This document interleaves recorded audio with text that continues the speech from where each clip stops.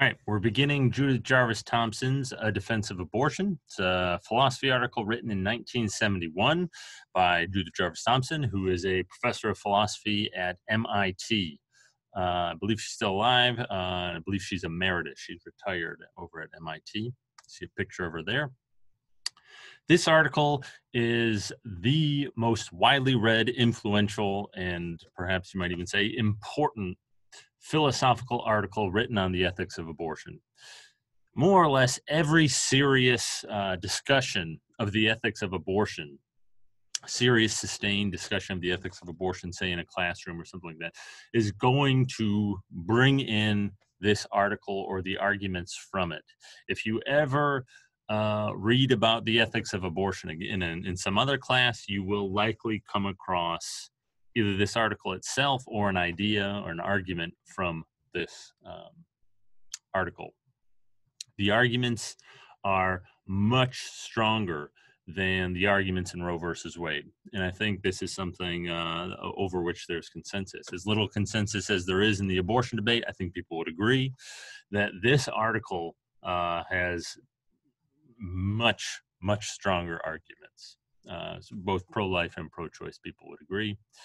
Um, the arguments, as we're going to see, uh, rely on thought experiments, and so they can be kind of um, uh, fantastical, if you will. They can be uh, a little out there. Um, we'll talk about why she does it. We'll talk about how the uh, an, an, argument that relies on thought experiments work um, in due course. Uh, but it's these arguments, these kind of fantastic scenarios that she um, creates. This is what the article is really uh, famous for. Um, a little bit of context for the uh, uh, article. So, in general, the kind of first societal context and then a little kind of internal context in the article itself. So, the societal context is written in 1971.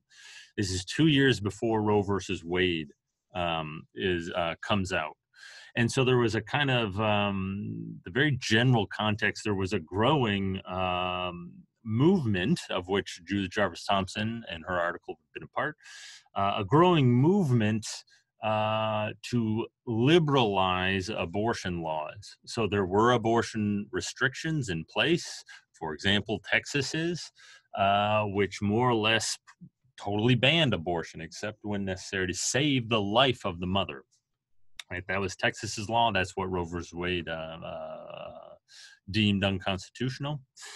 There was a growing movement prior to Roe versus Wade to start rolling back these laws, and so you can read Thomson's article in that context.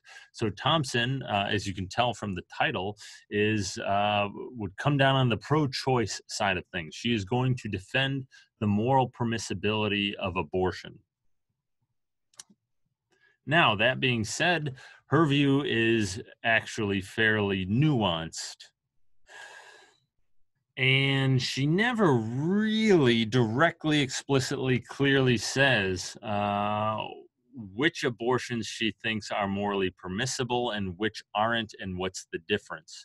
She clearly thinks that some abortions are morally permissible. And so that puts her on the pro choice side of the issue. She clearly thinks also, however, that some abortions are morally impermissible. She gives us an example at the very end of her article. She says something like, uh, "Imagine you have a seven-month, uh, a woman who's um, in her seventh month of pregnancy, and she wants to get an abortion." merely to avoid having to replan some trip that she was going to take. Thomson says that would be indecent. That would be morally impermissible.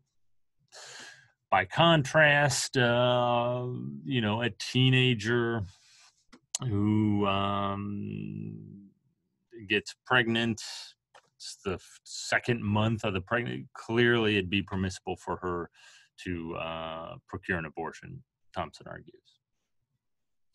Where exactly the line is, she doesn't say but uh, we'll talk about this in due course. The kind of internal context of the article that is important to wrap our minds around as we venture into it. The abortion debate, one of the central concerns of the abortion debate, and we saw this in Roe versus Wade, was this notion of personhood.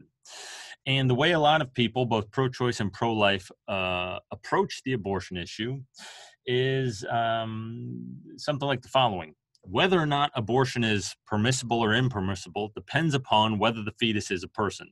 If the fetus is a person, abortion is morally impermissible. If the fetus is not a person, abortion is morally permissible. Right? These this is a standard way of trying to think through the abortion issue.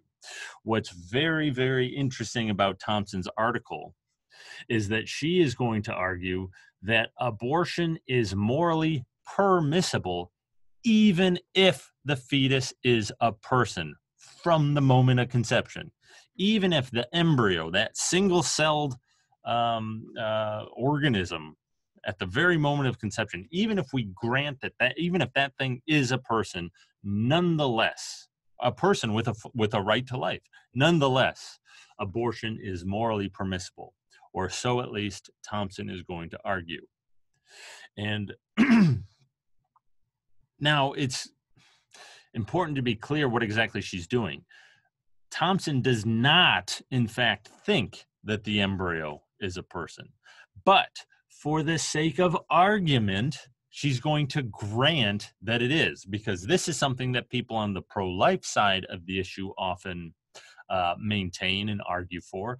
Thomson is going to say, fine, I'll grant you that. I'll grant you, for the sake of argument, from the moment of conception, we are dealing with a person. Nonetheless, she's going to argue, abortion is morally permissible. We're going to see how exactly that works. Uh, because at the you know at first glance that might seem well how could you possibly maintain that i mean if the if the embryo is a person it's got a right to life you can't abort it we're going to see how exactly her argument works in due course